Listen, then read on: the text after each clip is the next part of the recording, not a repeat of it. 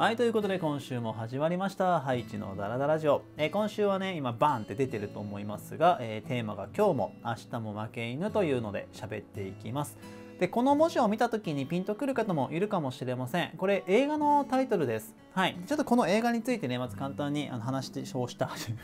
神々話をしたいと思うんですが、あの、これですね、高校生が作った映画なんです。で、先日、えっと、映画甲子園っていう2021っていうのがあったんですけども、そこで最優秀作品賞、つまりもうトップですね。で、その作品賞、最優秀作品賞だけじゃなくて、本当いろんな賞もあの受賞された、すごいね、あの、私どもの中ではすごく話題になった作品なんですが、でそれのタイトルでございます。で、一応リンクをね、えっ、と、映画甲子園のリンク貼っときますんでで、そこで多分ね、見れると思います。そのサイトから。だからね、気になる方はぜひ見てみてください。45分ぐらいかな、作品としては。ぜひあの冬休みのお供に一度目を通してほしいんですが、えこの作品はですね、えっと、皆さん起立性調節障害というのを知ってますでしょうか、まあよくね朝起きれない病気っていうふうに言われたりする例えばテレビの報道とかねされたりするやつなんですけども、まあそれがテーマになっていますと。で私が何で今この話をしてるかっていうと私あのこの作品ですねクラウドファンディングを行ってましてあのそれで応援させてもらってたんです。そう。でだからあの実はこの作品のエンドロールにそのクラファンの枠で私名前載ってるんですよ。とある男が授業をしてみたって。それをね視聴者の方に何名か あの気づかれて え載ってたんですけどみたいな。になってまああの実はみたいな。あの応援させてもらっててっていう流れを発表させてもらったんですが。でなんで先に言わなかったんですか？っていうねあの 聞かれたのもあったのでちょっとその辺の思いもね今週話せたらなと思ってちょっとそこに触れていきます。でまあちょっとねあちょっとねというかあの映画の方はぜひあの起立性調節障害学生の方だけじゃなくてぜひあの親御さんに見てほしいですこの作品は。もしなんか聞いたことあるけどよくわかんないんだよねそれっていう方はぜひ目を通してください。あの世の中にはこういったね、えっと病気で悩んでるというか苦しんでる方もいらっしゃいますしもしかしたら皆さんの身近な方がこの病気になる可能性も往々にしてありますのでぜひよろしくお願いします。あのね本当によくできた作品って言い方してですけど高校生が作ったとは自分は思えないですねこの作品。すごいんですよ。本当に映画としてきちんとできてるっていうのが個人的な感想ですのでぜひよろしくお願いします。でですね話を戻しましょうと、うん、なんで事前に言わなかったかっていうとこのクラファンはですねクラウドファンディングは結構初期だったかなのもう早めの段階であのある程度まとまったあの支援をねさせていただいてたんですけどももう単純に私のユーザーの子でも起立性調調節障害で苦しんでる子って結構多くってでそれで多分34年前かなからこれを知ったんです。さその後だったかなで知っててでもちろんねその子たちに何か直接何かはで何かはできないんだけれどもうん世の中でこうこれを知ってほしいなっていう思いはやっぱあるわけですよ。それはまあ起立性調整障害だけじゃないですよ。いろんな障害がたくさんあるんで今病気はね。ですけど私が例えば急にその話をしたところでえ？ってなるじゃないですか。だから今回このねたたまたまクラウドファンディングでよくサイトを見るんで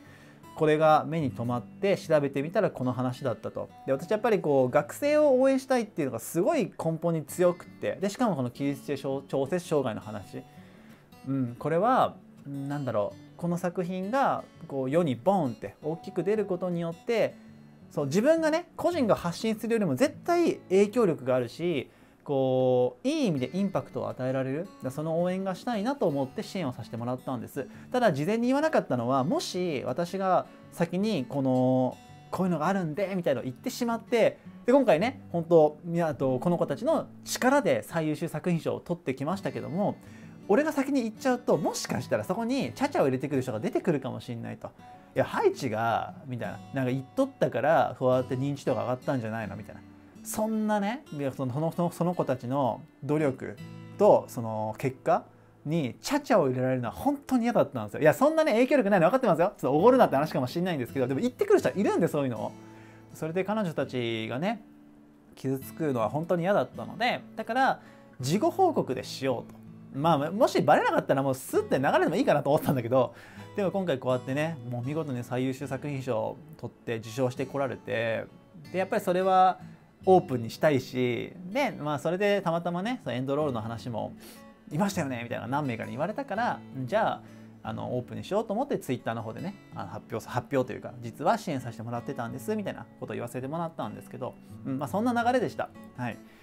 なんかこうある程度ねうんそんなにめちゃくちゃ大きな影響力はないですけど、まあ、多少ちょっとこう世の中で知ってもらえるような存在になった時に自分の発信するものってやっぱりちゃんと精査しないと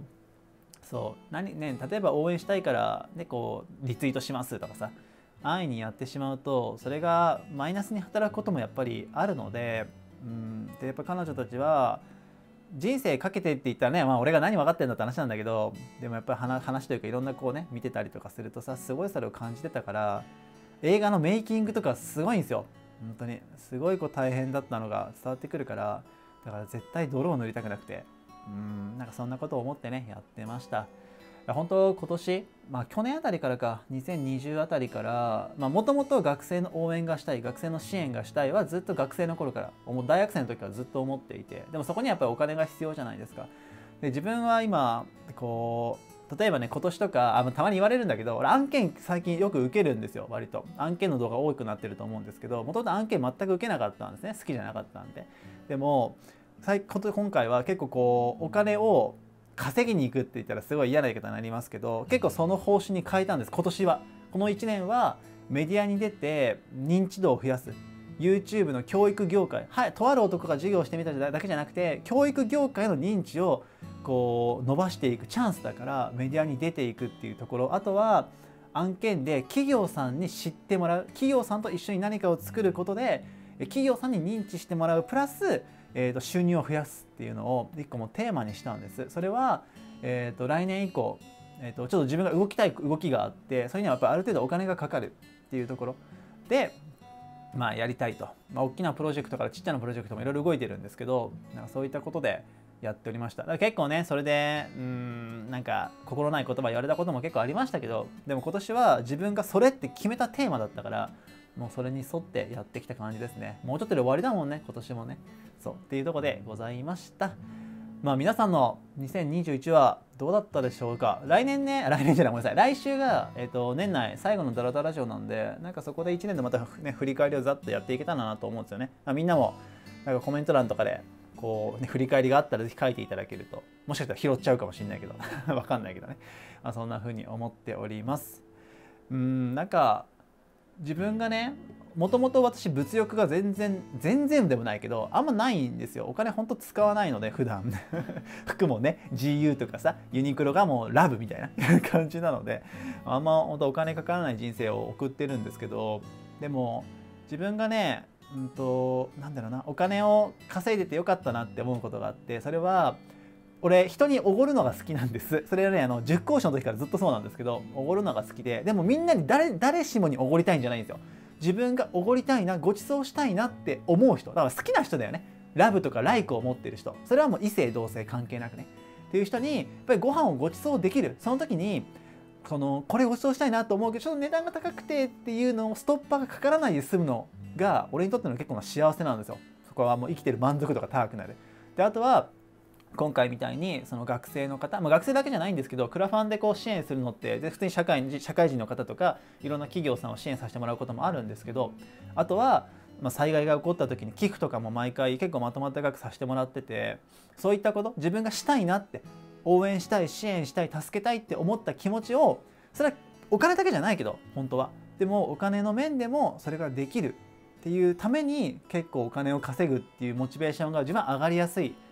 ところなのでだからそれをなんか2022以降もね来年以降も続けていけたらいいなって思ってる。まあ俺らがねこのとある男が授業をしてみたとかハイチの存在がこれからどうなっていくかなんてわからないしもしかしたらね数年後もうみんなに全然忘れられてるようなポジションになっちゃう可能性ももちろんあるだろうけどもでもまあ自分が大事だと思うこと、うん、信じた道をやっぱり突き進んでそこに応援してくれてる応援してくれる人かがね一緒にこう並走してくれるというか旅行に一緒にね走れる中で入れる人がたくさんいたらいいなとは願ってね、まあ、来年度も来年度じゃない来年もか頑張っていこうと思うっていう感じでございます。ちょっと話まとまらなくなっちゃったけど、まあ、今回はねそういった意味で、えーと「今日も明日も負け犬」という素晴らしい作品が紹介できたので嬉しく思います。ぜひぜひね、ぜひぜひ あの概要欄のリンクからあのお時間の時で構いませんので作品の方を見てみてください。本当にねあの見てほしい。うん、よろしくお願いします。ということで、今週もね、ここまでお付き合いいただきありがとうございました。年内はラストでございますね、来週が。で、まあ普通にやると思うんですよね。多分生放送とかやらないと思うんですけど、なんかダラダラショー生放送ずっとやりたいやりたいって言ってできちゃいないんですがなんかやってもまだちょっとぐだりそうな感じがするのでまあ多分普通の放送になるかなとは思うんですがよかったら来週もぜひね聞いてみてくださいでは今週1週間もまたね一緒に頑張っていきましょう。それじゃまた来週お会いできたらと思います。以上ここまでのお相手は私ハイテでした。また来週。またね。バイバイ。ちょっとぐだっちゃった。